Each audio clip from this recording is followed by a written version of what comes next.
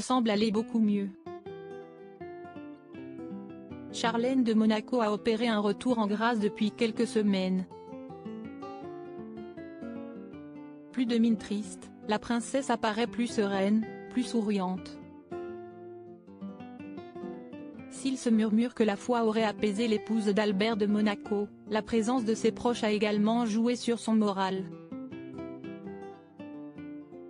À ses côtés, sa famille, ses deux parents Lynette et Michael Whitstock, ses frères, Gareth qui s'est installé sur la principauté au plus près de sa sœur, mais également Sean qui multiplie les allers-retours d'Afrique du Sud pour passer quelques jours auprès de son clan sur le rocher. Charlène de Monaco a également des amis à ses côtés. Deux personnes notamment font partie de son cercle intime. Deux alliés originaires comme elle d'Afrique du Sud, comme le révèle sa biographe Arlène Prince-Loup, dont le livre Charlène Story, l'étonnant destin de la nageuse devenue princesse de Monaco sortira aux éditions de l'Archipel le 25 mai prochain. Charlène est entourée de Sud-Africains.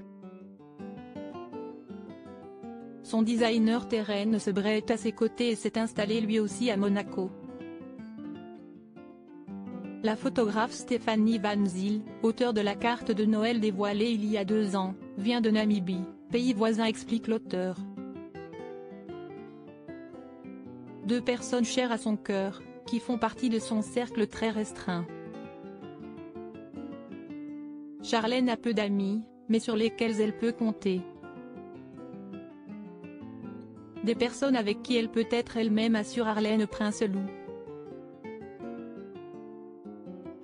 Charlène de Monaco, retour sur son évolution capillaire en 50 clichés en Afrique du Sud, elle est toujours joyeuse avec eux, elle peut parler sans gêne ou sans voir ses confidences ébruitées.